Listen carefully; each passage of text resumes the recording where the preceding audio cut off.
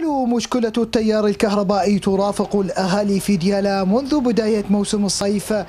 هنا في مدينة بعقوبة تعطلت أغلب الأجهزة الكهربائية بسبب تذبذب التيار والاعتماد على المولدات الأهلية. فساعات التجهيز لا تتجاوز العشر ساعات يوميا تترافق بانقطاعات مستمرة. بالنسبة للكهرباء ساعتين بساعتين والساعتين تصل بها خمس مرات ست مرات. تصعد 250 260 تنزل إلى 170 140 150 الأجهزة كلها. أيوه هاي التحليل كلها. ساعتين ساعتين ساعتين ما مستفاد من كل شيء ما مستفاد من أما جباية التيار مستمرة كل شهر وبأسعار مختلفة. يقول الأهالي أن الأغلب لا يعتمدون على المقاييس بل على التقدير الشفهي مما أسهم بزيادة الأسعار على المواطن البسيط الذي لا يسمع بحقوق الكهرباء إلا في يوم الجباية. كهرباء صفر. زين. يعني بنك ما تقدر تشغل.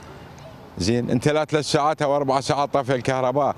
جبت يعني شوف هيال الميزانية يعني تقرأ شكل اجور الكهرباء وش اسمها تقرأ شكل الميزانية. وهناك دعوات جدية مستمرة في مدينة بعقوبة برفع دعوة قضائية على وزارة الكهرباء والمطالبة بالتعويض المالي بعدما تعطلت الأجهزة وحرمان الأهالي من التيار طيلة الأشهر الثلاثة الماضية رغم الاحتياج الملح له. مع ارتفاع درجات الحرارة. إلى مواطنين في قضاء بعقوبة بإقامة دعاوى على مديرية توزيع كهرباء ديالى وعلى وزارة الكهرباء.